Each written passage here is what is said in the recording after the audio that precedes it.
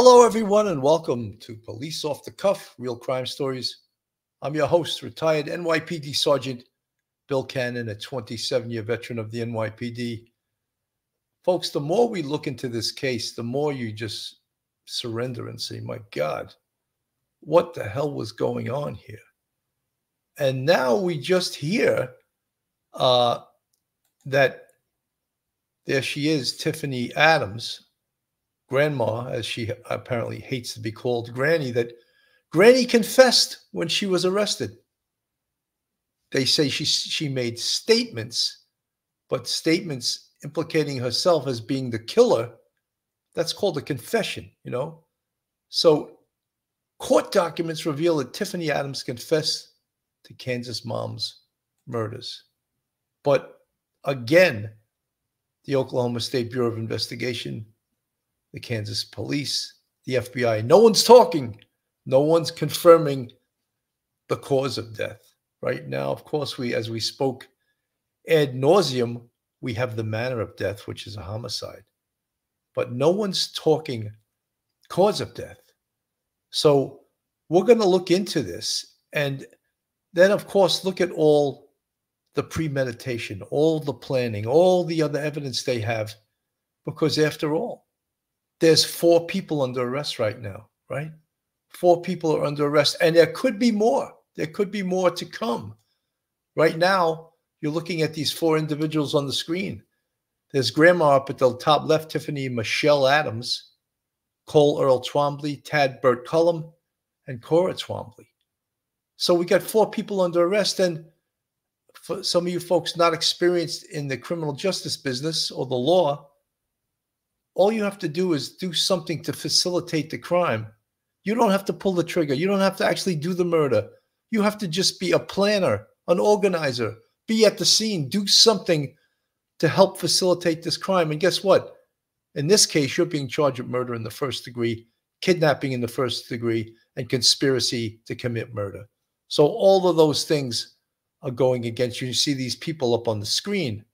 Here they are in happier times. Uh, Mr. Twombly there and uh, Cole Earl Twombly and Cora Twombly, the couple there, that uh, the couple that stays together, stays in prison together, you know, commits murder together or conspires to commit murder together. God's misfits, you know, here they are on the screen, and here they are in their perpetire, as we would call it in the NYPD. So we're going to look into this and also look into the case as the premeditation, the conspiracy, and this town too, this area. It seems that there's a lot going on in this area. And there's another person's name who was mentioned, but yet we don't hear about him right now. He's mentioned in the arrest affidavit, Paul Grice. Where is he right now? Did he flee the jurisdiction? How come he's not under arrest? That's what we would like to know. Is he the fifth and that he just what didn't get caught the day they went out to arrest all these people.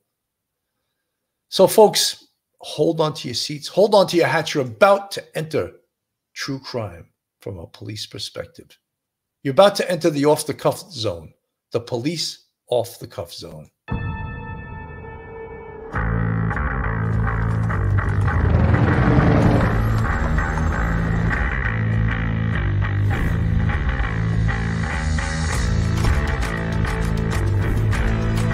There has to be some common sense.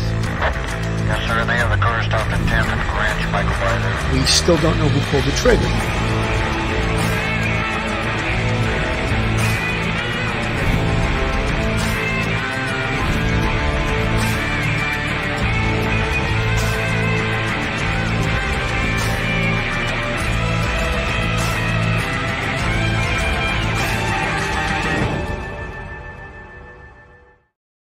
Joining me today is going to be retired NYPD Sergeant, professor at Albertus Magnus College in Connecticut.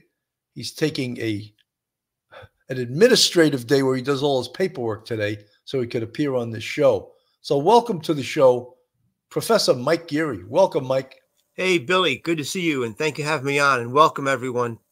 Welcome. You know, Mike, when we hear, uh, and it's one TV station came on, uh, uh KSN TV came on and said, there are court documents that reveal that she admitted uh, responsibility for the death of the missing Can- uh, Kansas women. Of course, we, as we know, Veronica uh, Butler and Jillian Kelly. What do you think about that, Mike? Billy, I think uh, we talked about this earlier this morning. I think that probably um, when the SWAT came, this is my guess, when the SWAT team came in, that there may have been some spontaneous statements made uh, in utter, you know uttering spontaneous statements, which are perfectly allowable. And I think she made them to law enforcement. She obviously would not make those statements if she was in custodial interrogation and had an attorney present. So at that point, I'm thinking early on, at that point when they when they came in, she may may have made some sort of uh, spontaneous statements, maybe to try to clear um, her uh, boyfriend um, uh, uh Bert uh, Tad Bert Cullum. So I'm thinking something like that. Now that would be obviously, as you and Phil know, would be now in the investigator's case file. That eventually will be turned over in discovery. Um, you know, uh, in the future as we go forward towards a trial. But um, yeah, I think those those were spontaneous statements made uh, to police in, in, a very excited state, and um, that is really useful information and provides a real clear picture, probably with just those few statements about what happened, the inside, sorry, the inside facts of what actually happened to those poor ladies. You know, Mike, early, very early on in this investigation, before the victims were found, this was posted on Facebook by Jillian Kelly's mother. Mm-hmm. Jillian has passed away. And here was the second post. The grandma has confessed to killing them both. So perhaps the police told the families and they said, please keep it to yourself, but we owe you the respect yeah. of letting you know so you don't hear it from the press if it leaks out somewhere. However, the mother of Jillian Kelly felt the need to post this on Facebook. Jillian has passed away, and the grandma has confessed to killing both. So we mentioned that early on, but we couldn't go with it as a gospel or because it wasn't confirmation. And who do we, how do we know if that was in fact the mother of Jillian Kelly posting that on Facebook? But this is 3KSN TV posting this, and I believe this was last night. So I'm going to play this for you right here. Thank you for joining us tonight. I'm Jeff Herndon. New developments in the case of the murdered Southwest Kansas mothers. Court documents reveal Tiffany Adams, the grandmother of Veronica Butler's children, admitted to killing Veronica and Jillian Kelly in the state's motion to hold Adams and the three other suspects without bond. Investigators wrote after Adams was arrested, she, quote, made statements to law enforcement indicating she was responsible for the deaths of Butler and Kelly. The documents do not reveal what those statements entailed. Adams, Tad Cullum, and Cole and Cora Twombly were in court for their first appearance today. They are each charged with first degree murder, kidnapping, and conspiracy. A judge denied all of them bond. It's something prosecutors pushed for. In court documents, they said, quote, now faced with the consequences of a sentence of death or life in prison, the defendants would be willing to do anything since they have shown to be willing to commit capital murder in order to limit Veronica's visitation. Prosecutors say there were many attempts made to take Veronica's life. Other court documents show the years of turmoil between Veronica and Tiffany, but efforts to secure a protection order did not get approved by a judge. Do you feel like the justice system failed? Veronica? They 100%. Has it always been like this with Tiffany? In the last five years, 100%, they have failed. What would you say to the justice system? They don't want to know. I'm going to have to get off here. Sorry. Well, the maximum sentence for murder is death, life, or life without parole. Julia Thatcher asked the district attorney if the death penalty is on the table. He told her that will be decided later. Good evening. Thank you for joining us tonight. I'm Jeff Herndon. Let me pull this off here. Uh, so, according to that, that now court documents, of course, no one is producing the court documents right now, but an in custody yeah. interrogation is means after Miranda. Right. So, so she was issued Miranda. Yes, she was issued yeah. Miranda, and she confessed. So. Yeah.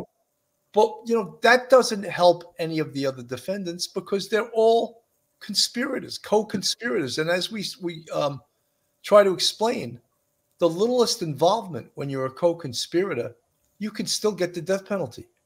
Because what you did facilitated this murder in the first degree, this kidnapping first degree, this conspiracy. So they are all equally eligible for the death penalty.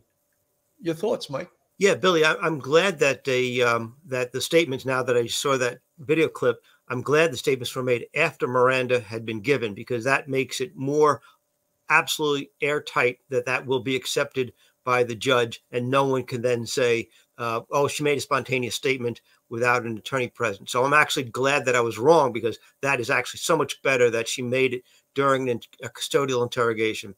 That's fantastic. And you know what? Like you said, it doesn't matter if her her um, if Bert just picked up a shovel and threw it in the back of a truck and said, "Let's go," or he was a passenger, or he decided to go get the cell phones for her at Walmart, or uh, the burner phones, or maybe a stun gun.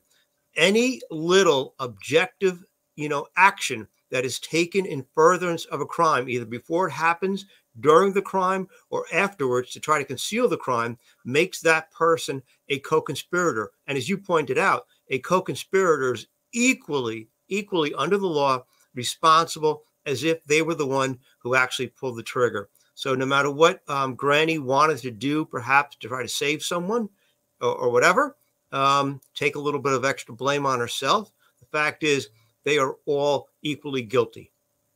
100%. And one of the things that we realize, and we'll go to it later on, uh, the arrest affidavit, is all the planning that went into this. Oh, yeah. And all the details and all the premeditation. And we'll take a look at that. But I wanted to play this was this was interesting. It was on Cuomo, a former attorney of uh, Tiffany Adams, speaks about her uh, in this interview with uh, Cuomo. That she was charged. When you look through the documents, counsel, and the recitation of what happened from the 16 year old witness uh, specifically, it is a pretty compelling narrative that your client was absolutely involved in this and it was planned. How do you understand that? Well, to be fair, um, this has been a contentious custody uh, and guardianship matter and a lot of temporary orders have been entered by the court, but no final orders it, it, having been entered. It's gone on too long and it's too acrimoniously. Now, at the, the, the uh, Ms. Adams is a well-known member of the community. Uh, she's in the farming and ranching business. Her family is a pioneers. She's on the board of the county hospital uh, and she's a farmer rancher. Uh, she has strong feelings. The children's uh, mother and father were never married, so we have this custody battle. The father is serving at a time in prison, so he's not available. And she asked the court in a petition for guardianship to be made the guardian of the children. Right. In other words, custody.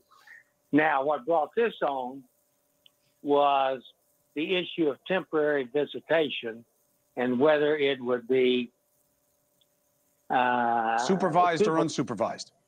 Yes. Right, but and, I get I get all that, and I get that it was ugly, counsel. What I'm saying is, did you ever get any indication that your client was willing, desperate enough to do anything violent to the mother just to keep custody of the kids? I did not. When you heard that, you know, you say she's a member of the community, she's well known. Did you know that she was a part of an organization called God's Misfits that's uh, supposedly this kind of anarchic organization that's anti government, anti rules? I did not know that, but I'm not surprised. Uh, Cimarron County and much of the panhandle is very uh, individualistic, uh, independent, um, mostly uh, farmers and uh, town suppliers, and very, very uh, conservative. And I've represented people in the panhandle over 50 years, And I, every time I go out there, I hear about a new group that doesn't believe in, in your dollar bill or other things. And that just goes on in Cimarron County. It's a small, isolated county, Mm. looks to Amarillo, shops Amarillo, watches Amarillo television, and they keep to themselves. But since 1960, they have changed politically. Um, it, very evangelical, very uh, conspiratorial in the sense of not trusting the government. You know, Mike, it's amazing to me um, that attorneys who preach um, to keep your mouth shut go on television and spoof forth all kinds of uh, information about their client or their former client. Right. Uh, what are your thoughts about that? Uh, very respectfully, I think he's talking out of his hat. Um, you know, he first started talking when Mr. Cuomo first asked him a question. He started going on and on and on and on and on and on, and wouldn't address the the question, the big question about was there actually any indications previously that she was like a homicidal maniac, that she had the potential to, to kill, and he, you know, he then finally answered it, and then he goes on to about about the politics and and people's feelings, um, you know, about in, being independent. You know, um, he should have just respectfully declined the interview right from the start to say, Mr. Cuomo, I cannot really speak about what uh, about my former client, especially in, indicating to you any sort of issues that she may have had now that she has another attorney. You know, you should funnel all questions through that new attorney, that public defender, whoever, whomever is uh, representing her, and say no more and just hang up the phone. Um, I, I, can't stand it when defense, especially any any attorney, can't keep uh, their thoughts to themselves. Not good. No. Uh, Eliza Krogan, I read the locals are really upset about this. So, although independent and all, not all are murderers. No, this puts a big stain, of course, mm-hmm. on the community, and it looks them look like hillbillies, right? That are just murderers. You know that that whole story about trying to throw an anvil through. I mean, that was like lunacy.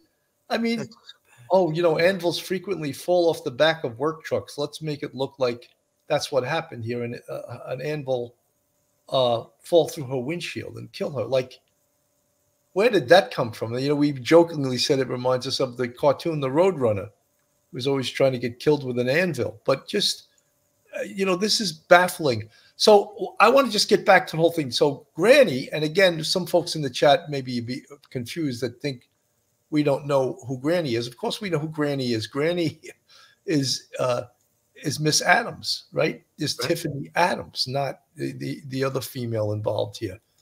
The woman on the left here is Tiffany Adams. And apparently, when you look at that photo, and we've been critical of how she looks, she's only 54 years old. She looks a hell of a lot older in that picture. But apparently, she's an affluent woman that owns a ton of land, is a leader in this community, but a hateful, scary individual now that we know is a double murderer, according to her confession. And again, she's innocent until proven guilty, because when I don't say that, people uh, attack me. She's innocent until proven guilty, but we still don't know the cause of death. We have an idea of the cause of death. It's probably gunshot. But in addition, on the scene, a weapon, a hammer, was found next to Veronica's glasses on the ground outside the vehicle. Could there also be blunt trauma? So that's being held back too. We're not being told the cause of death. We know the manner of death is murder, homicide. The cause, we're not being told that yet, Mike. Yeah, Billy, it may be a combination because when you see a bloody hammer and and blood in the car and blood outside the car um, and broken glass, broken eyeglasses, you know she was struck in the face, in the head, you know, probably numerous times. Um, if that didn't kill her, they had the stun guns ready. Um, and I wouldn't be surprised if they also shot, you know, the bodies at the end when they dumped them in the in the uh, that the little culvert that they they had they uh, dug out. But uh, yeah, there may be multiple, um, you know, uh, causes of deaths. It might be blunt trauma and shooting, you know, that sort of thing. Yeah, this was a, a, a vicious attack. I mean, anybody that would plan to throw an anvil off a road overpass so that when the car when you know, uh, her car was driving underneath it in order to try to get that anvil through the front windshield uh, and cause a fatal car accident or just kill her outright with the anvil.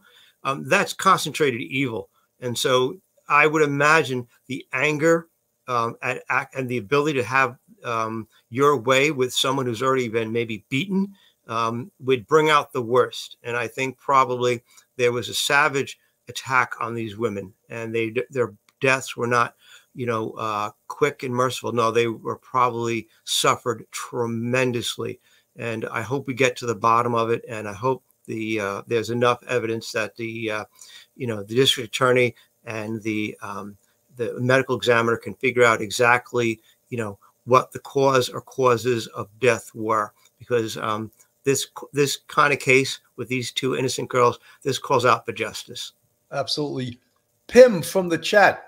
Adams is no longer considered an outstanding member of the community after this. She fooled the whole community as to what kind of person she really is. Many wealthy people have committed murder. Pim, yeah, I, I don't think she's going to go back to her former status if she was a revered member of the community. Phoebe, they said that it was a homicide and immortal wounds. Phoebe, I've never heard the term immortal wounds. Mortal, yes. I've never heard immortal uh, wounds. That could be a mistake uh, in language. Uh, well, the kids right there when their mother was murdered, Dorothy uh, Mitter. No, they were not. They were staying with other people. Uh, Sharon Lane from the chat. Granny is a vigilante gang leader. Yeah, uh, God's misfits apparently, and uh, many people. Uh, DG, uh, yeah, broken hammer was found on the scene, which could in- be indicative of blunt trauma. Right. Uh, Annabelle Roma, she confessed. So what's next? There won't be a trial for no, no, no. There will be a trial, Annabelle, because what will happen next is her defense attorney will try to get the confession thrown out. That's the next step. They will try to minute. They'll say the police coerced her. They'll say the police threatened her. They'll say she didn't understand her rights. They didn't read a Miranda. They'll come up with a bunch of reasons why the confession will be thrown out. No, she will still go to trial because this is a death penalty case. The only way she wouldn't go to trial, and I've never heard of anyone confess in a death penalty case because it's just like throwing yourself on the sword. So, no, she will definitely take this to trial. But the confession, you don't just take a confession as someone's word, you now match the confession up to the evidence. So if she says, I shot so and so twice and I shot so and so once, I shot her in the head, I shot her in the chest you match up the evidence, the confession to the evidence, and that makes the evidence that much more powerful. Mike. Yeah, Billy. Um, every single person facing really serious charges like this are, and have made um, unwisely made incriminating statements. Once the attorney gets in the picture, they will always make a motion to exclude the uh, that evidence at trial. Uh, it happens all the time. Um, even if the police have her signing a, uh, a Miranda statement after they read it to her, probably on videotape, and had her sign it, and it was entered into a logbook, you know, and that actually piece of paper actually becomes part of the uh, case file. They will still try to say she didn't understand, even though she speaks English and she lived in this country. And, you know, people say all kinds of things in order to try to get their statements thrown out because they realize later on after the attorney talks to them how unwise it was for them to make those statements. But you know what?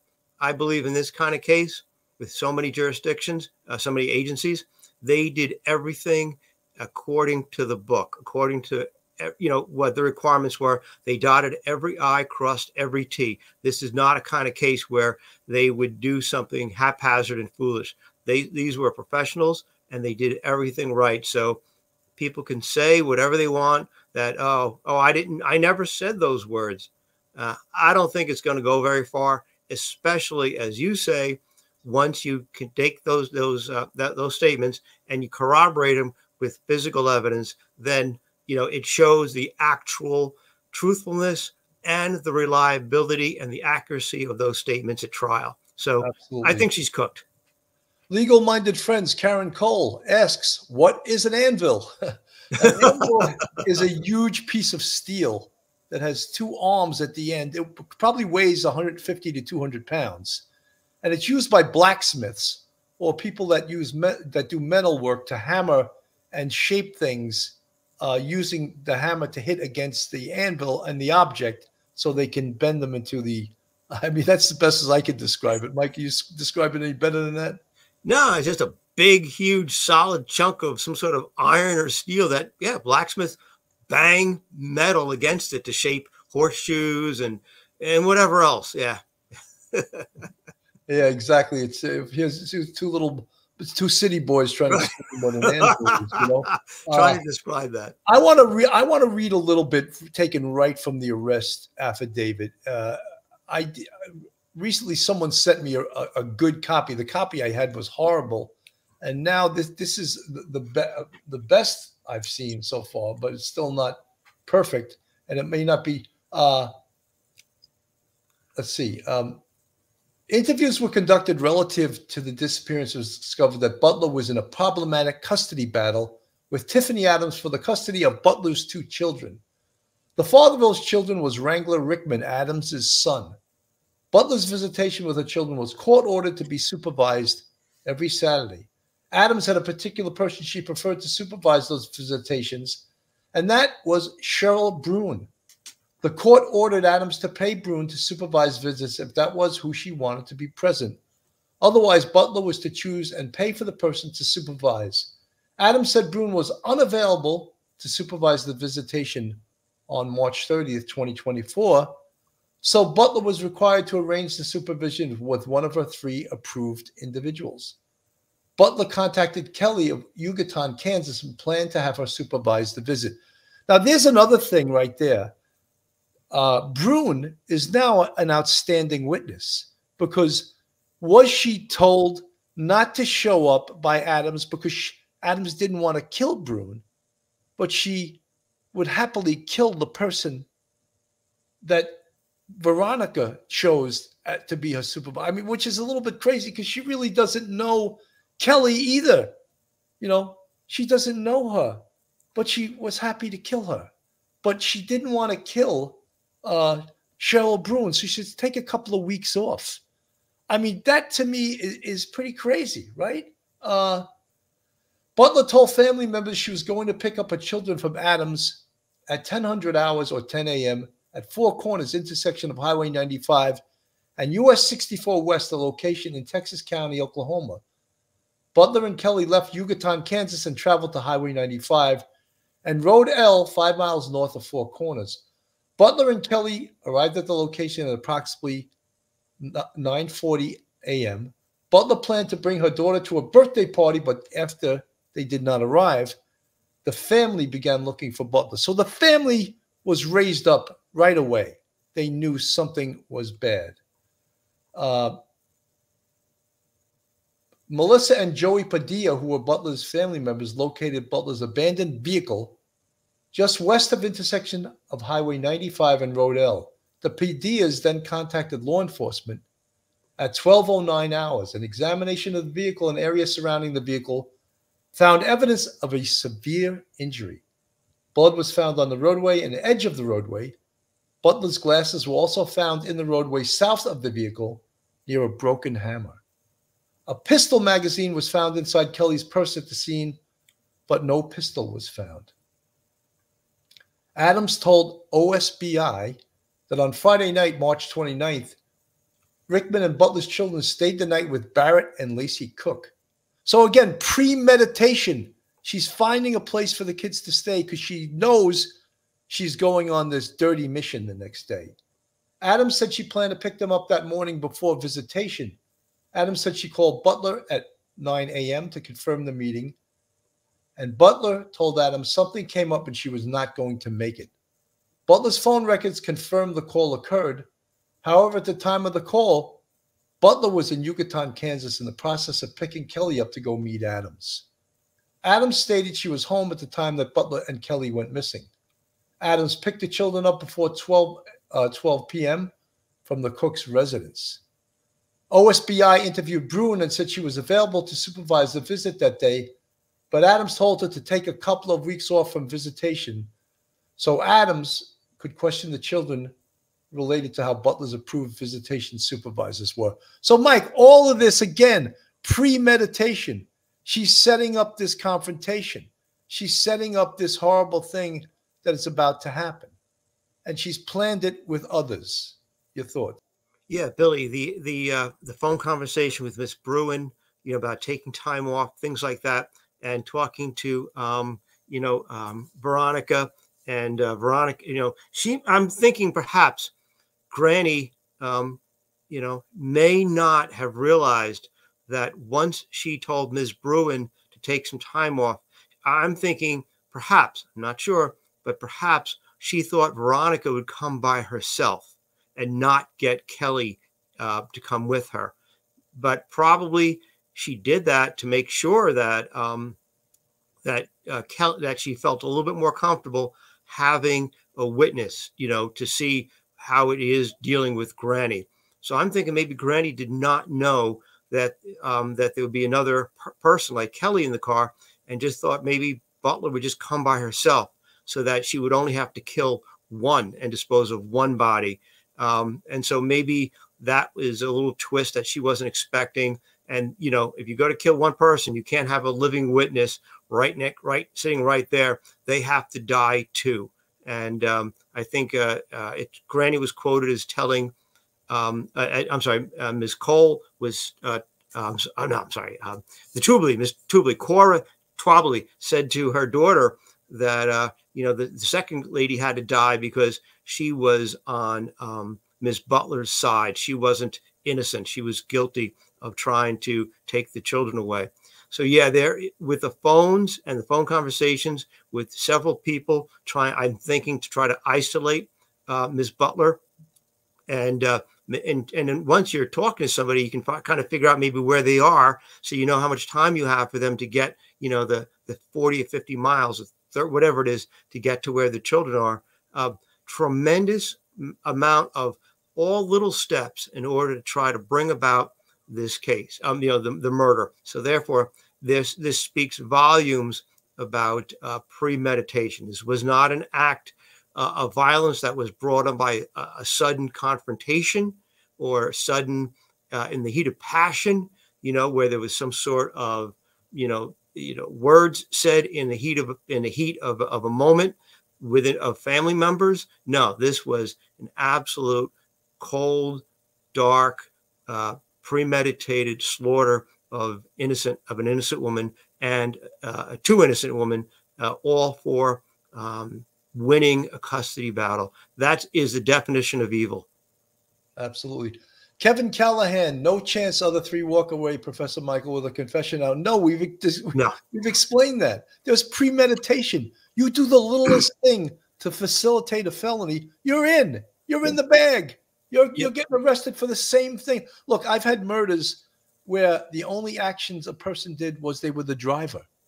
They were the getaway driver they get 25 to life after conviction of the murderer. So, you know, use your head. Uh, the littlest thing you do, they can get you for acting in concert, criminal facilitation, criminal conspiracy, kidnapping, murder first degree. No, they will not get out because she confessed to it. Mike. Yeah, it's a great question. But even if by some really weird chance the uh, confession gets thrown out, you've got other statements by other people that the grandmother had contacted so you can kind of figure out where people were independent of that confession you've got um, the Twombly's 16 year old daughter making statements so yeah even if say it happens um, the uh, um, confession is thrown out there is so much overwhelming electronic uh, you know phone data evidence and other statements made by other people placing you know people in a certain area. You've got the phones, uh, the the burner phones, all co- uh, joining in at that field. You've got them being then turned off in unison. You've got the uh, you've got the uh, phones from um, Miss Butler, Miss Kelly going silent right around 9:45. You know, you've got all of these connections and you've got all the circumstantial evidence. Yeah, I don't think you have to worry about, about, about that confession. Even if it did get thrown out, don't worry, they are not walking anytime soon. No, no. 100%. Folks, this is Police Off the Cuff, real crime stories. If you like real crime, true crime from a police perspective, you're in the right place. And if you're not subscribed to us, go on our YouTube, hit that subscribe button, give us a thumbs up, ring that bell, hit the like button, share us with your friends or your family. If you want to contribute to us financially, we have a Patreon with three different levels. We also have a YouTube channel membership with Count 'em, five different levels, and our channel is growing by leaps and bounds. And even though someone said the other day, which we found quite amusing, when we had Bobby Chacon on with us, retired FBI agent, he says, "You guys are three washed-up cops." we found that to be tremendously humorous because when you look at a lot of people on YouTube, I don't want to criticize them, but we actually have credentials. You know, both Bobby Chacon is a lawyer, a scuba expert, FBI agent. Mike Geary is a professor of criminal justice, lawyer, retired NYPD sergeant. I'm a retired NYPD sergeant, 27 years, criminal justice professor. You know, we don't have to rail on about our credentials, but we found it funny when someone said we're three washed up cops. So we do have a sense of humor, even though that was uh, that was off the charts. I want to go back to the arrest aff- affidavit right now. Uh, Butler, uh, excuse me, um, we're talking about the the phone call they had between uh, Butler and, and and Kelly's phone records indicated the devices were actively sending signals to their carriers until approximately 0942 hours after which the devices were no longer seen by the networks and stopped transmitting. Neither phone was found at the scene or within the vehicle, and they are currently missing. Adams was the last known person to communicate with Butler and was scheduled to meet Butler and Kelly for visitation at 10, 10 o'clock on March 30th, 2024. One of the things I would ask right away if I was an investigator in the interview uh, with Tiffany Adams was, where are their phones? And what if she's confessing, why wouldn't she cooperate? Well, we took their phones and we did this to them. So if they can then retrieve those phones from where the conspirators, the other people dumped them, that's a huge, huge piece of evidence. And I don't doubt that the investigators asked that because it's very important. Mike.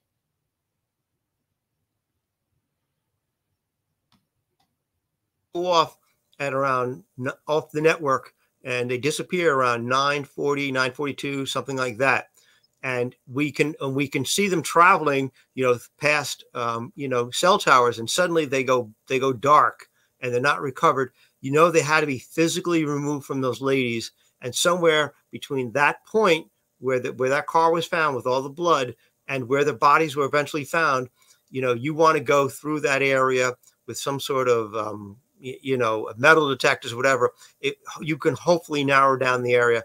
But if you can find them and then verify that, that you know maybe they were destroyed by a hammer or whether they were just thrown in a ditch you can you can show the path that the bodies were on and the and the parties taking the bodies to the to where they uh, dumped them and bury them you could show where that is. That is really excellent for a jury to see that because it's one more nail in the coffin of these people and they will go to prison for either life or or get the death penalty. But that's one more thing the jury can look at. It's tangible. You see a broken cell phone and destroyed and dirty and filthy and you see it and you realize the person who had this phone was you know uh, killed and their phone tossed aside in an attempt to uh, thwart any sort of recovery or law enforcement efforts. That is you know as a prosecutor you want that tangible piece of, uh, of evidence that tangible item in the jury's hands so they can see it. It makes the story that much more dramatic. It makes the story that much more real. So if they could get it that would be fantastic uh, through the child custody case, recordings were obtained where Rickman, who is the baby's daddy and also uh, Adams's son, discussed death threats by Adams and Adams' boyfriend, Tad Cullum. So there we go. with some more evidence coming forth. The custody battle began in February of 2019 with many hearings and court appearances. On March 18, 2024 and March 20th, 2024, motions were filed requesting extended visitation for Butler.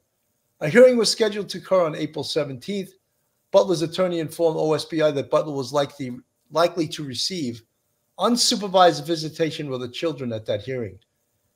At times, Adams refused to let Rickman have his children, even though Rickman had legal custody of them.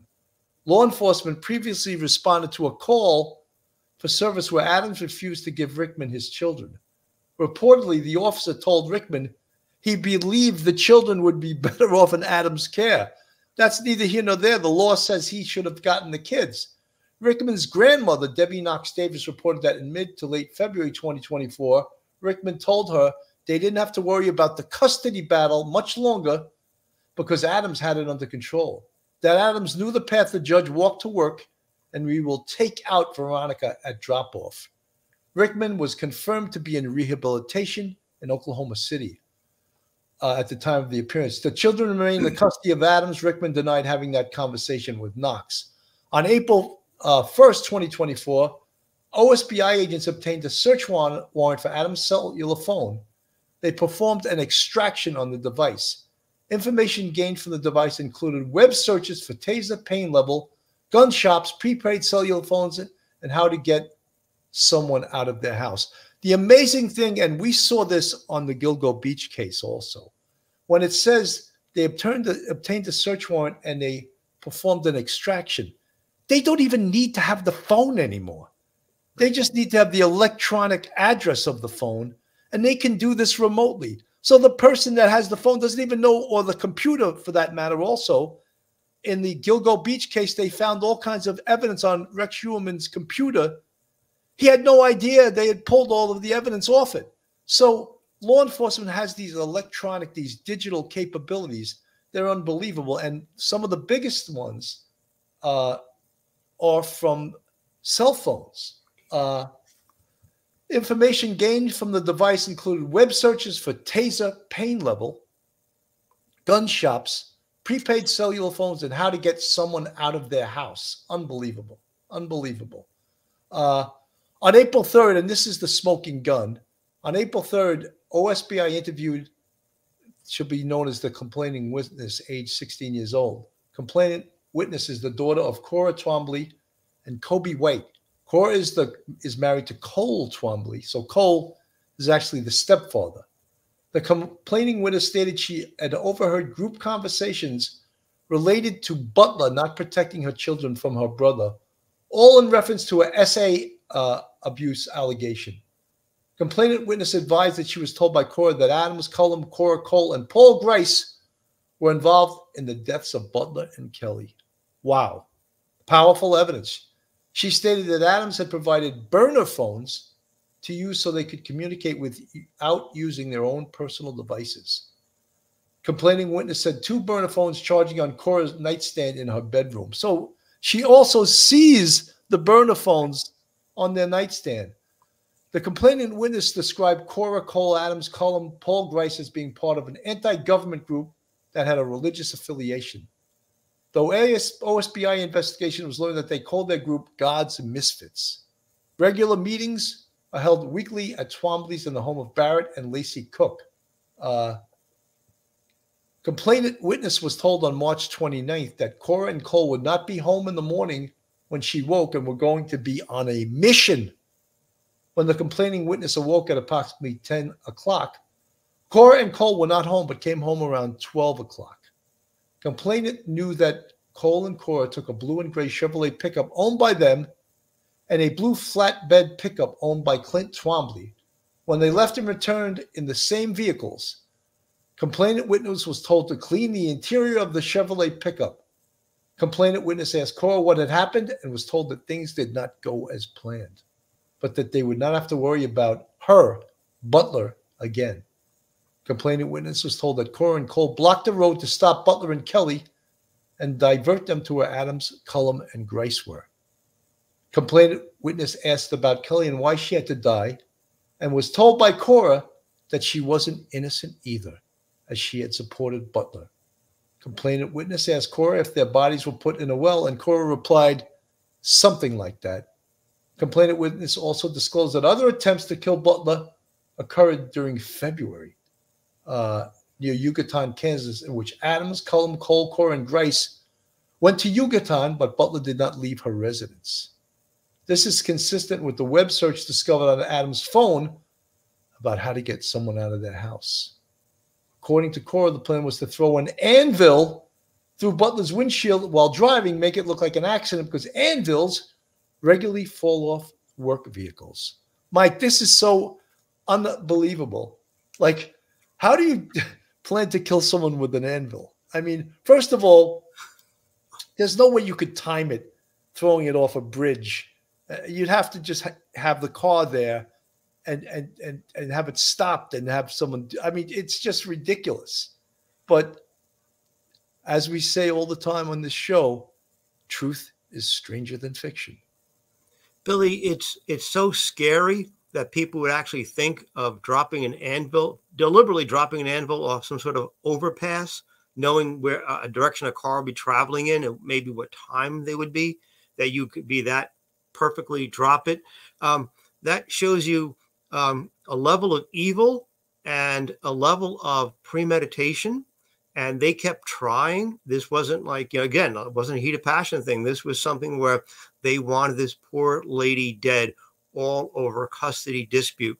And it's scary because it's funny and as ridiculous it is. It sounds like the coyote trying to kill the roadrunner with an Acme, you know, built anvil and always end up hurting hurting himself.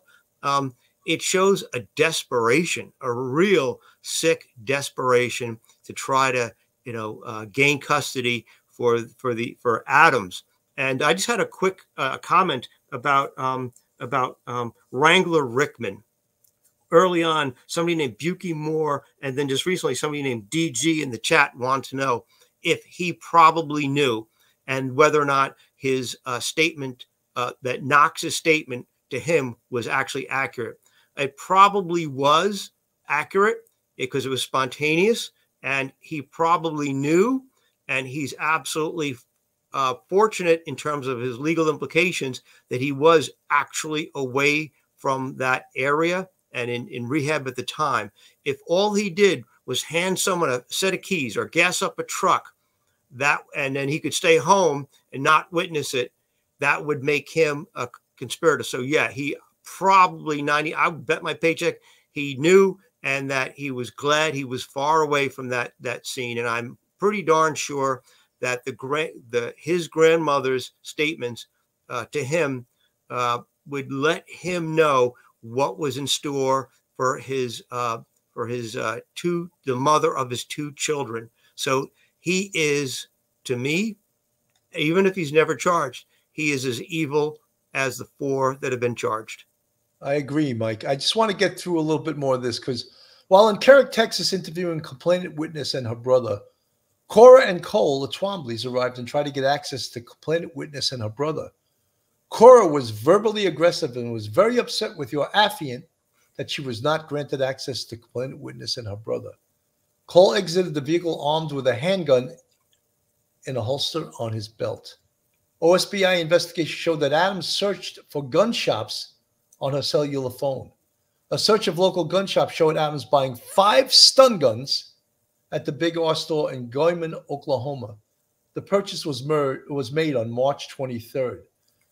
OSBI investigation showed that Adams purchased three prepaid cellular phones from Walmart in Guymon, Oklahoma on February 13th. The phones were identified by phone numbers. I won't list all the phone numbers here. It's in the uh, search warrant affidavit. Search warrants for information related to location services and phone usage were completed for each device. It was learned that all three phones were at the area where Butler's car was located and the last known location of Butler and Kelly at the time of their disappearance. That's powerful, powerful evidence. All three phones were powered on and accessed the cellular network for the first time at or near Cullum's residence at different times prior to March 30th, 2024. On March 30th, phone numbers, they go over them uh, before um, before Butler and Kelly's disappearance were at Twombly's residence prior to going to or near Cullum's residence. Butler and Kelly's disappearance at 10.05 and 10.16 hours, and they give the phone numbers, they were in the area at or near Cullum's residence. So it's showing where these phones were mm-hmm. prior to and during the commission of these crimes powerful evidence. You know, and when people early on in this evidence says, "Oh, the phone, um, the phone uh, cell site information is going to be useless because it's so rural that the FBI has equipment that can blow you away. And they've look at what this evidence. They, they know when the phones were powered on. How great is that, Mike? Billy, it's fantastic because it doesn't rely on a, on a witness and their memory. It's absolutely accurate, you know, because this is how you get billed. This is how things work.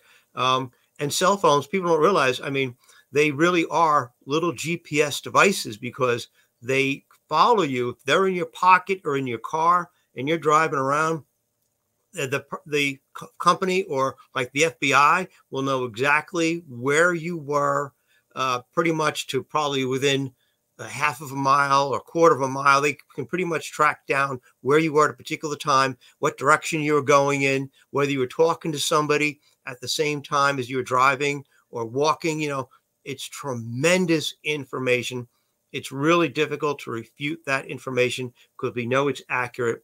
Um, and uh, that and it doesn't have to be a passionate witness talking it's cold hard facts that are undeniable when you can when you could look at when a phone comes on when a phone goes off where does it travel what time does it travel who's using it to communicate with someone else it's fantastic and um, that is one of the most important pieces of information in this case because you can't deny that your phone didn't move around with you Absolutely. It's fantastic. You know, Mike, I just want to read this last paragraph because it's like icing on the cake. After Butler and Kelly's disappearance on March 30th between 10:16 and 10:35 hours, it was determined that phone numbers, which are two of the uh, um, the phones in question used by the perpetrators, the boost phones, uh, were at a property owned by Jamie Beasley below a dam in the pasture where fresh dirt work was located by your affiant. Concrete was moved from a location near Beasley's residence, approximately 150 to 200 yards below the dam, where it was discovered that a hole had been dug and filled back in and then covered with hay.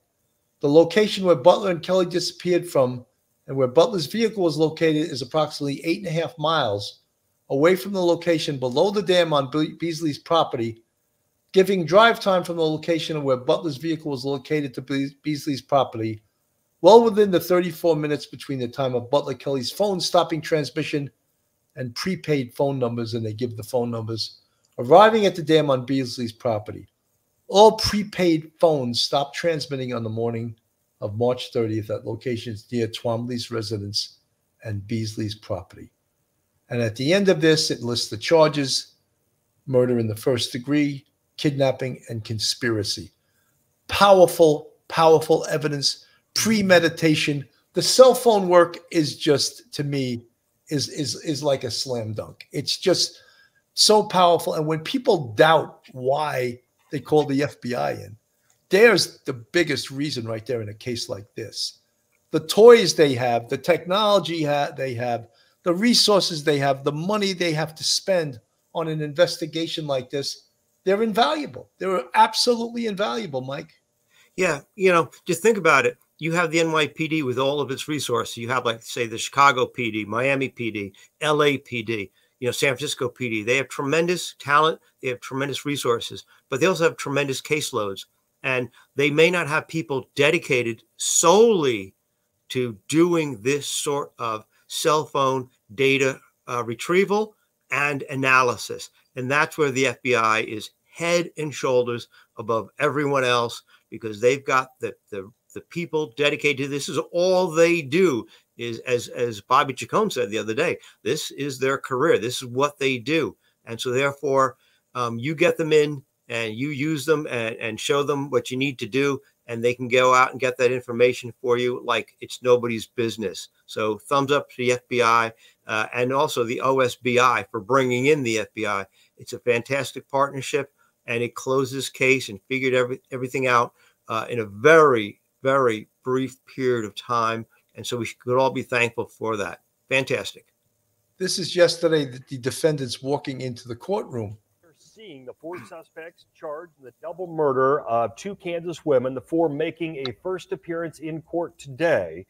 This just days after the bodies of the two women were discovered. Jacob, Jacob Albrock is joining us now with details from today's court appearance and reaction from outside the courthouse. Rachel, Mike, it's a case that's captivated many people in Kansas, Oklahoma, and around the country. Veronica Butler and Jillian Kelly, both of Hugoton, Kansas, disappeared late last month.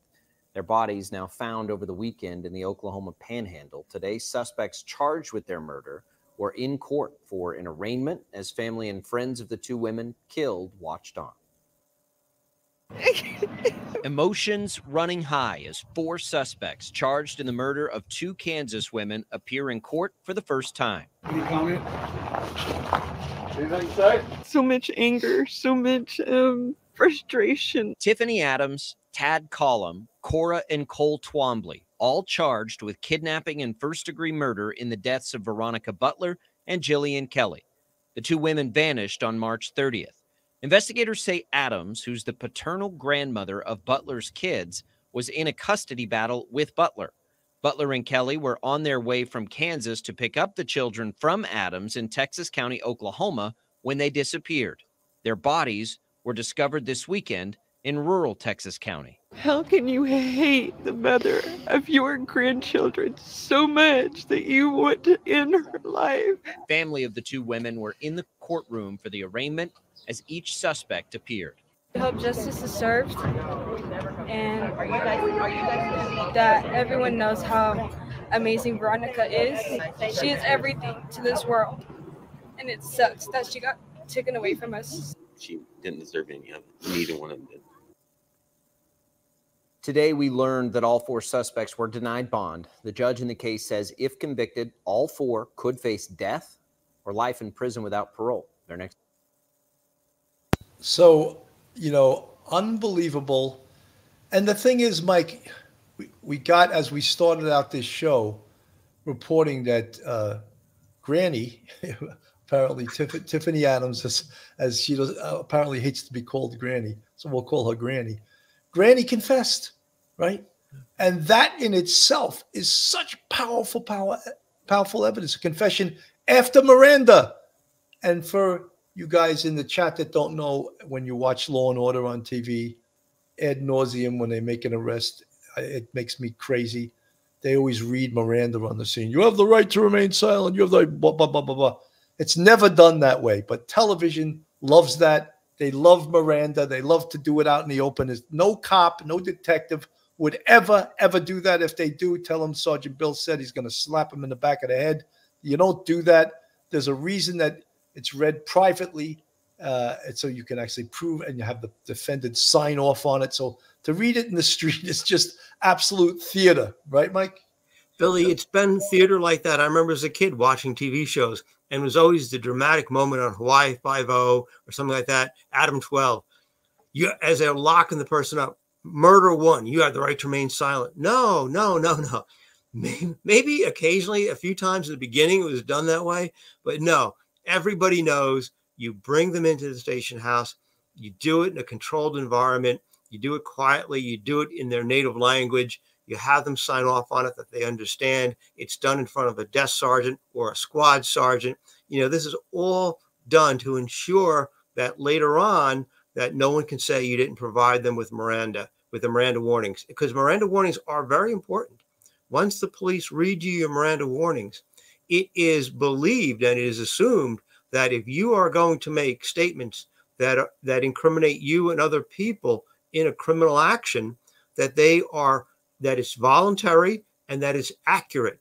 And so, therefore, um, anyone trying to dis, uh, you know, uh, fight against a Mirandized statement and say uh, it's inaccurate or was given uh, the statement the statement was given and it wasn't given uh, voluntarily. No, it, the statement is assumed to be accurate and it's assumed to be voluntary. So therefore, yeah, yeah, the uh, Miranda is done very professionally. No one has to worry about that. You know, Mike, one of the other things, and this is a favorite of defense attorneys, and good detectives know this. So they, when they present how Miranda was read, I read Miranda to the to say Tiffany Adams.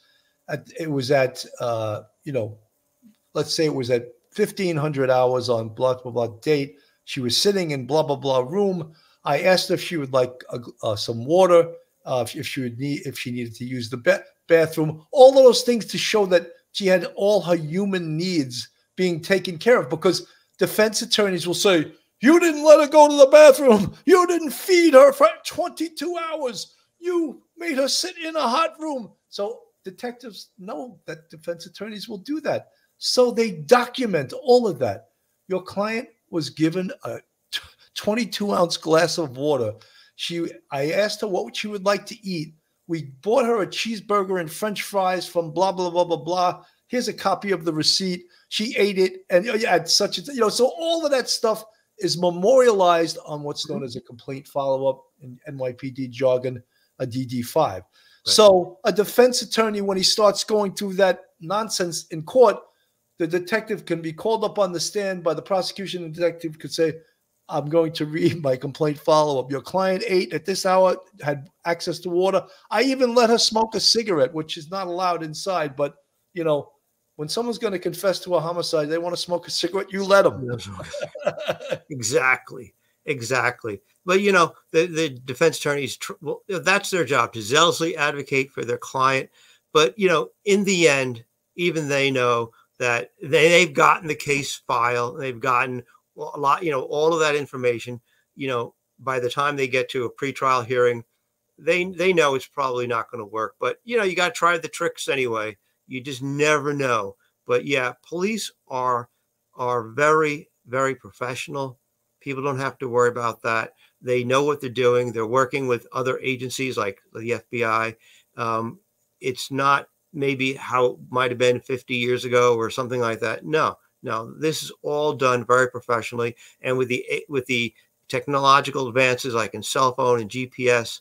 Um, it really makes uh, the job of the detective that much better because they are can be more assured of, of what they're doing, what they're thinking that happened. They can put it together a lot better. There's much more information uh, in at their fingertips. It's expensive, it's time consuming, but they give the detectives and the police much more information, and that and that is assuring to everybody that there's no, you know, mistake in terms of someone who is innocent, you know, being caught up in some sort of conspiracy like this. You know, with all that data, you know exactly who was where and when, and possibly who they were with and what they were doing. So it's thumbs up to all the law enforcement in this case, all around. Very good job. 100% unleashed from the chat.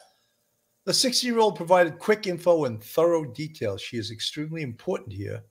I'm not disagreeing. I just think these dumb criminals mm-hmm. would have eventually been caught regardless. You know, unleashed, you take all the evidence you can get in a case like this. Mm-hmm. This is icing on the cake the 16 year old complaining witness that she was named as in the affidavit, she's extremely important because she gave the picture of what actually happened from the mouths of the perps, from the mouths of Cora, of, of Cora and Cole Earl Twombly. Someone said I sound like I have a speech defect when I say Twombly. it is a little bit of a hard word, hard last name to say. Twombly. It's a weird last name, sort of. Can you say that, Mike, without having a speech defect? Uh, tw- yeah, yeah, tw- Twombly, I guess. But you know that girl is fantastic. They probably would have solved this case anyway, but having her talk to the police in such a candid manner gives them such inside information that they may never have gotten from anyone else. So, yeah, they probably would have been able to solve the case anyway, but it really makes the prosecution of them in at a future date much more uh, assured. So, uh, fantastic job by that 16 year old. Dilly Pickles, great screen name. Uh, police off the cuff. No, it was towards the beginning, but for those who don't know, Stephen Jones, the attorney, was Timothy McVeigh's attorney, state appointed. Wow. Oh, I didn't. That's a little bit of trivia. Uh, I don't know if it'll come into play here. Uh, first one to roll gets a prize. Pat Edwards, you know something? Mm-hmm. We predicted that one of the weaker links, in fact, Mike predicted, and I'm going to say the last name, which I have a speech defect saying, he predicted Cora Twombly would flip because she'd be the weakest link. But guess who flips? The strongest, the one who was the most culpable, the, the shooter. Or uh, we don't know for sure, but it appears that she was the shooter. So the shooter confesses, and I don't know if the other did the others make statements. Maybe, maybe they did too. Maybe this is wrapped up with a, a box with a nice, neat red bow. I don't know, but they may have made statements also. Mike, Yeah, yeah, Billy. I made that that that prediction. I bet a paycheck, but I'm I'd rather I'm glad I lost that paycheck. I'm glad I lost my shirt on that prediction because that uh, that 16 year old statement comes out of left field, and I'm really happy for it. So I'll gladly give up that paycheck. I'm hoping that somewhere along the line that they the defense attorney for um, you know the couple ta- uh, uh, Cole and Cora the Twab- Twableys. I hope that attorney speaks to them and says, "Look, you know, maybe, maybe, you know, we can get you a deal because really, who do the, you know, who actually started all this? And that's grandma. You know, you if you do, if you speak, you may get life with possibility of parole in 25 years for your part. Maybe, maybe. You know, again, it also depends on the forensic evidence. If it turns out that that uh, Cora and her uh, boyfriend actually did the shooting or the beatings, well, that's probably not going to be that sort of offer. But I'm hoping that if if uh, they didn't actually do the do the actual killing themselves, um, that uh, that they would be given an offer and turn because then that would give you not only the you, what you have with the 16 year old, which is the surrounding circumstances before and afterwards, but if you have one of them, uh, the Twableys speak, you get the actual inside information of what actually happened during the killings of these two beautiful people. Southern Red, where is Grice? That's my question. Well, question. Paul Good Grice question. is named in the arrest affidavit. So maybe he took off. Maybe he beat it out of town and they're looking for him. But as during this entire investigation, the OSBI and the FBI have been zipped. They have zipped it. They are not offering that up. Could he have fled the jurisdiction based on the arrest affidavit? He's in the trick bag. He's one of the perpetrators here and probably will be arrested down the road. Maybe he took off. Maybe he's in the wind, as we say in New York. Yeah, Billy, he's probably beat it someplace as far as he can go, as quick as he can go. Um, he may have friends in the area where, he, where they can hide him. But uh, if there's a reward offered or somebody just spots him, because uh, I don't think he'll stay in that area because everybody knows everybody in that area and you can't blend in. I think he'll go someplace else. But uh, if uh, if it's just you, if they can get a, a picture of him, if they can find something online that they could note, and this is where you use the press to notify the public. Look at this picture. If you see this person, you know there's a reward out for you. There's a fifty thousand dollar reward for the arrest and conviction of this person. Um, you can incentivize people and incentivize the press to work with you and and catch this guy. But I'm sure he's he's beat it. I'm sure. Sharon Lane, please know that Oklahomans, rural Oklahomans, Republicans, and Christians don't support or cover up this crazy, evil woman. Sharon Lane, we do not even remotely mean to imply that. This crime is 100% to do with these four people, perhaps additional people, but we in no way mean to implicate or disparage Oklahomans who are great people and hardworking Americans. And we do not mean, but we're just, we're always suspicious. So the more people we see involved in this, we more people we think could be involved in this.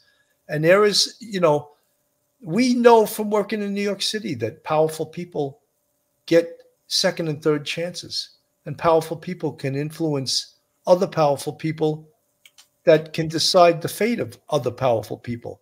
And that's just a fact in this world, you know, whether you're wealthy or you're a politician, you're influential, the law doesn't apply the same way to you. It's just a it's just an absolute fact to that. Nora, can the family courts and child protective services remove the children from Wrangler's care? Kids have two sets of grandparents. I heard Veronica's dad lives in West Virginia with his partner. Nora, there has to be cause. There has to be reason. They can't just say based on rumor or conjecture or based on this. He's not involved in this so far. If the investigators determine that he is involved in this, then absolutely the child services, child welfare, they can remove the kids from his care, from his custody, from his legal right to have custody. Mike.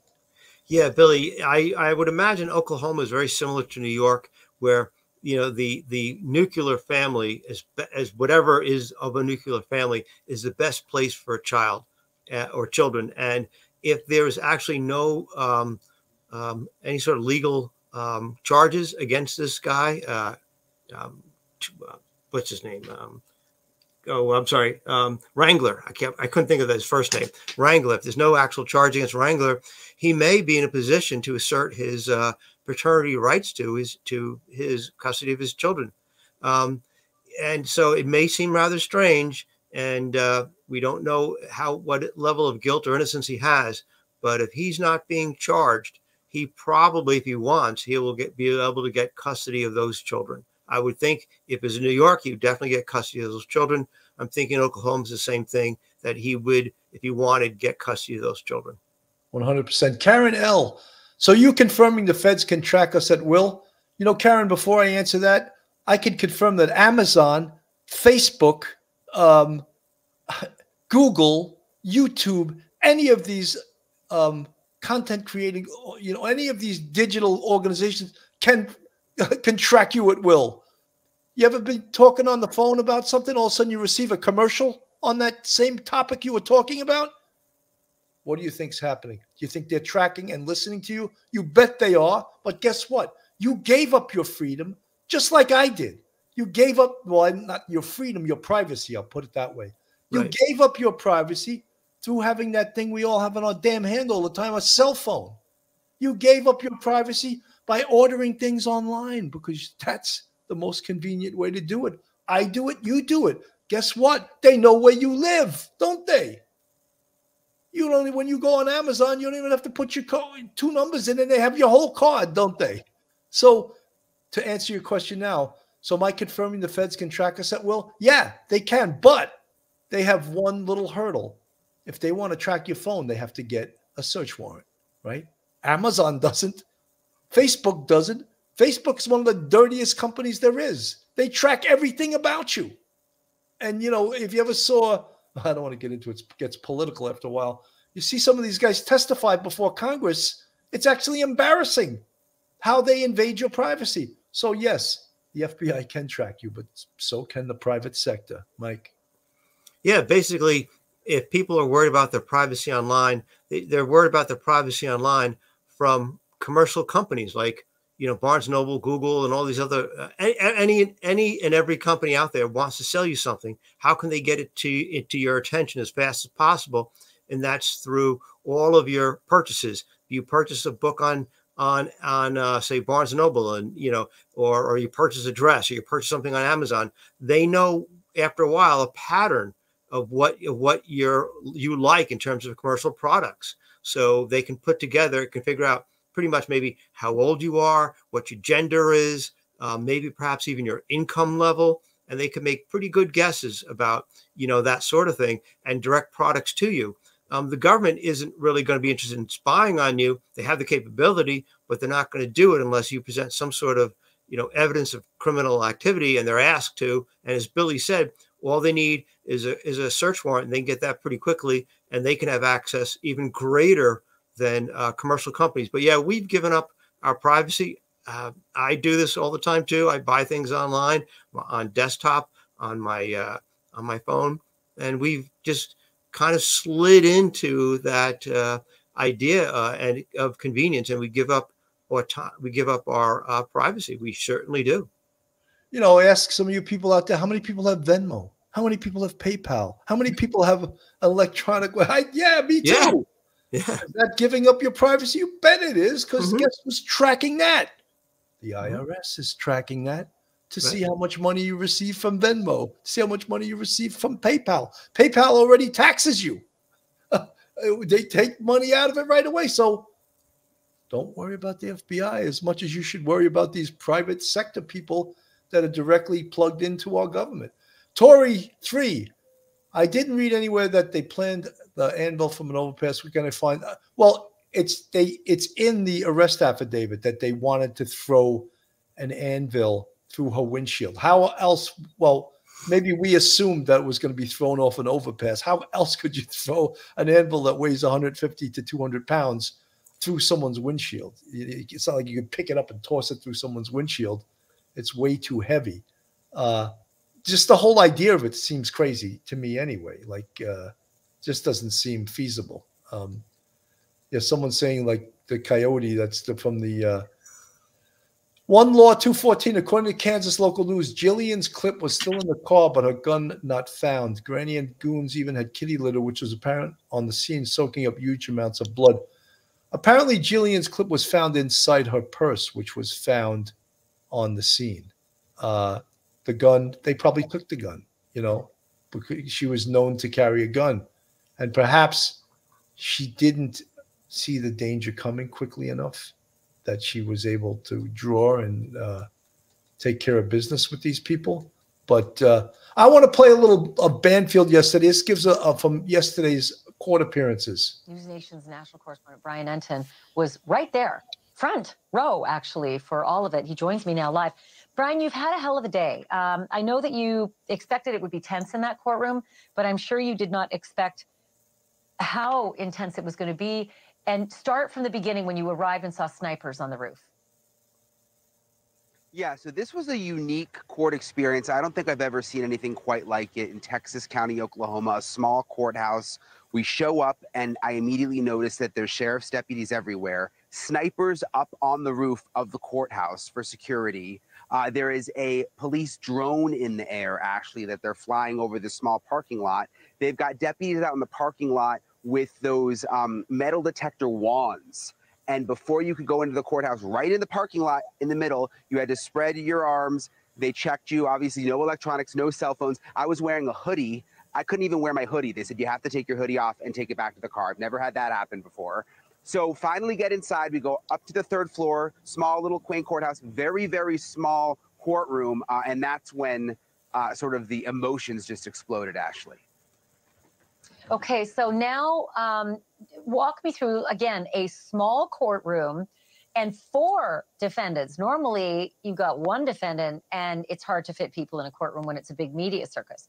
But you guys, the media, were given the front row, which is very strange. We're usually pushed at least halfway back or to the back. Why were you all in the front row? Yeah, so small courtroom. And the first thing I wondered was this is interesting. I've never been allowed to sit in the front row before. I later realized it was actually a very good move by the court administration. So we sit down, they brought the suspects in one by one. So they didn't bring them all in at the same time. And they marched them right through the middle of this little courthouse, by the way. You saw they come out the front door, the video you're looking at. So there's no like back hallway or anything like that. So that was interesting. Uh, and they bring them in one by one. And there's about two dozen family members of the victims in the back two rows.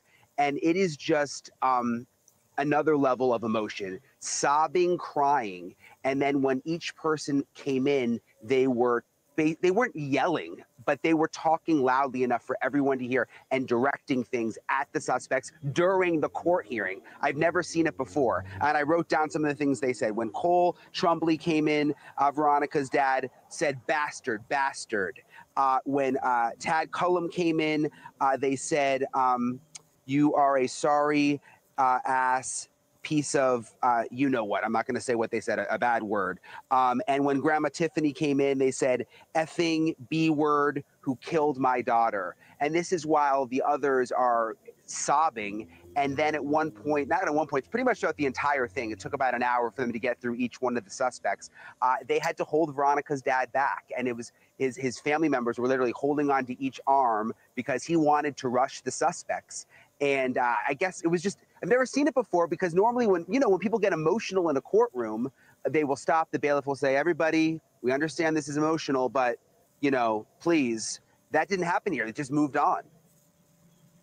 I got to be honest with you. I feel like I would have done the same. I know courtroom protocol, yeah. I know decorum, but I'm not so sure I could have held back. I think someone would have had to hold me back if someone had done that to my child.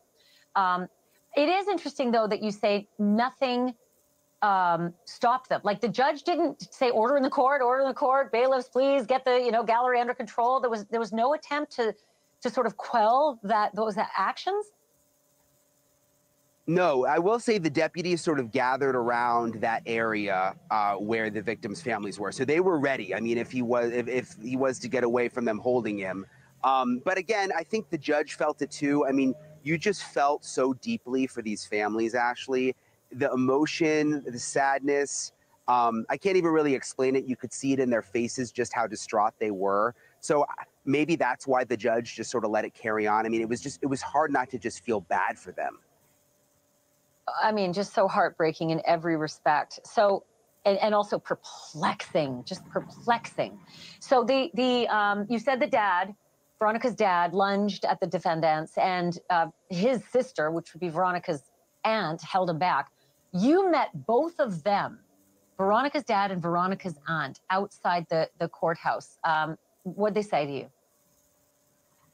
Yeah, so this sort of strange scene continued outside the courthouse because they basically kept everybody seated and then they bring the suspects right out through the middle of the small courthouse, right out the front door, through the parking lot. The video you're looking at, they came in, they went out, and there was a crowd of people out there, local people watching, and there were also uh, family members of the suspect out there. Uh, there was um, it was Tad's sister. I wrote down what what she said. She said uh, that uh, he would never hurt a woman. She was screaming that outside while all of this was happening. Uh, and then the victims' families came out, and I spoke with Veronica's dad and aunt. Again, just feel terrible for them. Thank you for watching.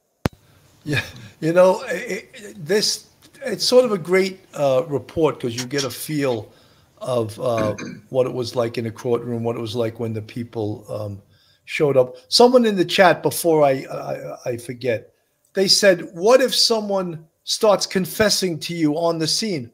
Okay, I, you guys ask good questions. No, then I would, once probable cause was established, I would read Miranda right right there. Yeah, I would. That's a, and like sort of an exception. If the person starts spewing forth, I did it, and this how I did it, I'm not gonna say, all right, wait, you know, wait till we get back to the station house. I would try to put the person in a in a location where we could talk privately and then read a Miranda. But I would not do it out in the open on the scene. Yes, you're right. If someone starts confessing right there, I can't say, oh, don't do that yet, you know. But I've had cases where I've picked up a murderer in the Bronx and brought him back to Manhattan. And me and two detectives didn't say a word to the guy until we got back, in this uh, instance, to the 2 3 squad in Spanish Harlem because we didn't want to do the interview in the car because it's not conducive. You're moving, you're driving, you're, there's distractions. We wanted to wait till we got him back to the 2 3 squad and interviewed him right there. So I just I don't want to, you know, I could we could get really get into this and uh there's all kinds of different woulda, shoulda, couldas, but um that's that's that's the that's why we wouldn't we don't read Miranda right out in the open on the scene. Mike. Yeah, you want Miranda to be done under very controlled circumstances, and you want everyone to be calm, and you want to do it properly. Um, but like you say, if somebody is saying something spontaneously out in the public, and you know, as you get on, on a scene, um, you don't have to turn your ears off. You could take all that information and you could put it on a report, you know, later on, and you can use that, and then you could that can help you then later on formulate questions when you actually, uh, you know, read Miranda to them. But it, you know, that doesn't happen too often. People are pretty cagey about that. They're pretty smart about that. But even when you read them, Miranda warnings in the in a very controlled environment, in a, in a detective squad room, um, probably statistically, statistically anyway, about three quarters of all defendants uh, waive their their rights under Miranda um, and actually speak to uh, speak to the cops, trying to you know tell them a tale or whatever to make them look themselves look good or something like that or justify what they're doing.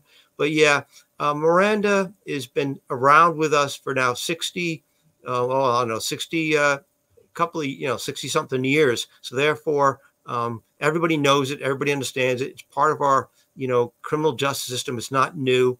Uh, the, the perps know it. And um, it's done very properly because you don't ever want to make like a technical mistake with uh, a suspect and perhaps have incriminate, excellent, useful, incriminating statements thrown out. 100%. You know, Mike, everyone is asking about this judge. Did he get fired? Did he resign? I'm going to just play this. This is Brian Entin speaking about the judge. And Brian Entin sort of had an involvement in this. His interview with this judge is what got the judge put into hot water, but the judge didn't really use good judgment. Uh, the city council forced me to resign. They were so unhappy that I spoke out about all of this. I just went back to the judge's house uh, to find out what happened. Take a listen. I was sitting here in the house and I got a phone call. There was a city council meeting last night. And they said, You need to come over here. So I went over there. It's only a block. I walked over. And uh, I went in and they were in executive session. Uh, when it was over, three or four minutes, they called me in, sit down. And they said, uh, We've had a lot of static about your interview. And we don't like it. The mayor has absolute control over my job. I'm appointed. He can hire me or fire me. And I said, Well, just fire me. One of the councilmen popped up and said, Oh, you're going to turn in your resignation. He's very nasty about it. I, I didn't appreciate that. And I said, That's not a problem. I'll quit. You remember, Elizabeth, he talked to us yesterday about the cult group God's Misfits, what he had heard about them, also the fact that he knew the suspect. Uh, and apparently they weren't happy he was talking about it. It just goes to show why everyone is so nervous to talk around here. There's intimidation. The suspects were powerful, they owned thousands of acres of land. Um, you know, you look at their pictures, you might not realize it, but they were powerful, Mhm. influential people in this area, Elizabeth. Yeah, and all along we've been reporting, even before they made the arrests, before we discovered the bodies, there was a lot of fear around this grandmother. Uh, people just were very afraid to speak out about this family. I guess we're seeing now a little evidence of that. Thanks so So, you know, people want to ask, well, why did the judge get fired? And, you know, you can agree with it, disagree with it. The judge used horrendous judgment. A guy gets arrested for murder first degree. His friend, Tad Bert Cullum, who's Granny's boyfriend, and he says, Oh, he's a great friend of mine. I can't believe he would have. Dude, maybe you should shut up. You're a judge, you know, use judgment. That was very poor judgment for you to say a guy who's just been arrested for murder's first degree is a great friend of yours and he would never do it. Now, I don't, they didn't identify, I believe this judge is a civil judge. So I don't think he had anything to do with any of the cases affecting these people. But it's just, it's just like we as police officers, one of the things we know is that we're not allowed to associate with known criminals off duty a- anywhere. And if you do do that, you can get fired. So this was sort of the equivalent of that. All right, maybe you love Tad, maybe he's your homeboy, but guess what? He just got arrested for murder first degree. So shut your mouth. Yeah, Billy, you know, he probably it was a town judge and maybe he did uh, you know, uh, traffic summonses and maybe complaints about uh, noise levels uh, of parties and maybe some zoning questions and deciding some zoning cases. But he did. He was not a criminal court judge that worked for a county that would have the uh, authority to sign like a, a a arrest warrant or a search warrant or have anything to do with this case whatsoever. So that's the good news, you know. And I'm glad he he resigned because um, anyone who would say, you know, oh yeah, I'm and you there's nothing wrong with saying, oh my God, I knew that person. I'm so shocked that that happened. But then he said, you know, uh, he said he made it. He was like, yo, he's still my friend. Um, and you know, I understand what he means. Like he hasn't been actually found guilty yet, but why on earth would you do that? Um, I think you would want to, uh, as, as a as a human being, say, you know, I, I that he should have just said, I I've known that. He should tell Br- Brian Entin, I know of him. He's he's been a long time resident. I'm a long time resident. I really can't speak about it. That would have been the smartest thing to do, and just say hello, Mister Entin, and just walk away. But no, he sticks his foot in his mouth. He sounded like a jerk, and he deserved. I'm sorry, he deserved what he got. You know, Mike. Also, and Alex Bird is uh, is uh, reminding us that he was with Tad Bert Cullum when the police raided his house. That's He right. That's actually right. That's He 100 was- percent right. Talking about, oh, I was scared. I'm a Vietnam veteran. They had rifles pointed at my face and all this other stuff. Dude, you got to pick your friends better. You know, right? You can't be hanging. And he's in business with Tad Cullum, so that's why you know if you're a judge, uh, perhaps you know you should keep your mouth shut, not talk about uh, this guy who's just been arrested for murder first degree, kidnapping first degree, and uh, conspiracy to commit murder. Maybe it's this this is the day you keep your mouth shut and you don't go bragging about it on national television, right? Uh, Exactly. one law 214. He's despicable for compar- comparison of his Nam experience in a war to two innocent women having guns stuck in their face. One law, I, I- agree with you. I just think he probably used the Vietnam thing to solicit sort of sympathy to who he is and all of that stuff. Donna Lynn Marshall, I heard that they probably shot Jilian and tortured and beat the hell out of Veronica. I heard that assumption on TST Nation. It's absolutely disturbing, all of it. I don't know where they have that information. I would never report that unless I know it for a fact, unless I have uh, documented evidence that that fact occurred. Someone else reported it, and it's a. I, I don't think that's a good thing to put out there unless it's 100% true. Lacey Peterson gave to victims' families so kids are safe emotionally and physically. Should not have said that of WR. Look at assaults and weapon charges. Numerous can look up. Veronica was in high school, got, I'm not sure where you're going with that. The judge and Tad, per his word, said they saw each other pretty much every morning for the past 30 days. I'd like to know where Judge was the morning of March 30th. Good Well, point. all of this will be investigated. They will, you know, they're taking a deep, deep dive into this, and this investigation's not over. Uh, can other will other people perhaps get, get arrested? Mary Williams, these people thought they were protecting the kids. They let their emotions get in the way. Good people do bad things. Bad people do good things. Yeah, but you know something, you can't even say that because murder isn't the solution to trying to protect kids. So you murder someone else. It's like the old expression, two wrongs don't make a right. And this is a huge wrong. It's a, a killing someone, you know, thou shalt not kill is one of the 10 commandments, right? I mean, and not that I'm the most religious person, but I do remember that from my religious studies that, and my years in homicide.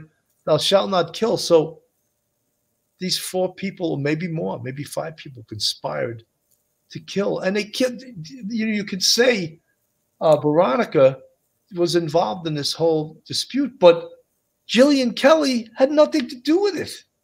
And just because she worked for Veronica, you kill her too? That's real cold, don't you think, Mike?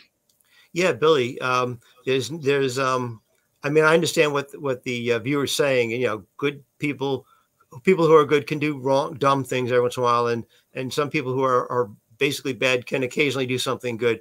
But yeah, this goes far beyond that. This is just absolute cold blooded killing with absolutely no remorse whatsoever. Um, and I think, and someone had mentioned in the chat just a second ago about the 16 year old. Could she be considered an accessory to the crime after the fact? Um, technically, yes, because if she actually helped clean up and destroy physical evidence, she could be. But because she was 16 years old and, um, you know, and she's a child and that she made spontaneous statements uh, that helped the investigation, um, I, I think nobody's going to going to worry about that whatsoever. Um, she, uh, sh- I, I admire that that 16 year old. The judge, on the other hand, I would like to see where his cell phone has been, and you know where it was between uh, uh, March 30th and just the other day when everyone was arrested. I would really like to see uh, track that cell phone. Yeah, 100%. Someone in the chat said, Oh, my mocking his service to his country? Absolutely not. No. He used that to try to get out of the stupid thing he did, right? So, Exactly. yes, we we salute you for your service to your country, but don't use that to try to get out of something stupid that you just did. It's like me saying, doing something really stupid and then saying, Oh, I was a cop for 27 years. I served this, I did that. I'm a 9 11 for, I shouldn't be doing that. If I do something stupid, I better own up to it, not hide and pull out my, you know, my service to, to the NYPD for 27 years to get out of doing something stupid. I would never do that. And neither should this judge. I want to play this of the local police chief here. Do you guys know exactly what we're dealing with? Neither do we. All right. So we're going to take those extra precautions. The affidavit claims the suspects were in an anti government group called God's Misfits. Additional members are unclear, but one of them is not a man called Squirrel who runs a website called God's Misfits out of South Carolina. It's amazing how your life can change in just a, just a split second. and You not have anything to do with it at all. He says his God's Misfits is a small ministry he runs with his wife, but now he's just trying to exonerate himself from internet users from around the world. Well, Lecco is from United Kingdom, and he he he's a I guess it, they call him a troll. And so I'm like, you don't even have a dog in the fight, dude. Why are you trying to spread hate toward me? He said he just wants to spread love of Jesus and that the last thing he wants is to be associated with the devil's work. The affidavit says the suspects bought burner phones found near the crime scene and tasers as well. It also states the children's father was in rehab at the time of the women's disappearance. So, you know, you could see the local people were asking why there were snipers on the roof because they didn't know what they were dealing with. You know, why you saw the the response to the search warrants, they were loaded for bear. There was like 50 cars that responded to do the search warrants, which incidentally, the judge was there when Tad was, search warrant was served. When they enforced the search warrant, the arrest warrant against him, the judge was there. So, you know, look, poor judgment. That's all I'll say, Mike. Yeah, Billy. Um, I think you know the uh, the court officers did a fabulous job um, there could have been a riot there. I think having, you know, uh, a couple of sharpshooters, snipers on the roof could intimidate either the uh, victims' families from taking action in their own hands or from the uh, families of the and relatives of the perpetrators taking matters in their own hands. Uh, from what I saw on the video and from what I heard with Brian Entin, they did an excellent job trying to do, you know, make the best of a very volatile situation. And they, they, my thumbs up to them too, because that cannot be easy in that situation. That's got to be a very difficult, very diff, uh, and dangerous job.